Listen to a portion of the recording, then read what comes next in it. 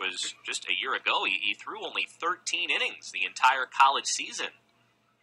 Baker takes ball two, and I think it's a little mystifying as to why that was the case. Look at this guy and the kind of stuff that he features.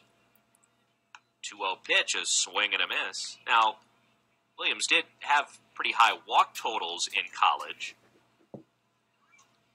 Working very quickly here. The 2 1 swung on, grounded foul up the first base side. 2 and 2 now to Baker.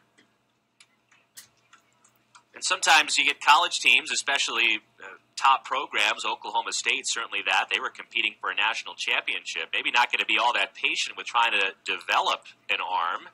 As the 2 2 swung on and missed. Baker flailing at that curveball. And another strikeout for Williams. That's three in a row going back to last inning.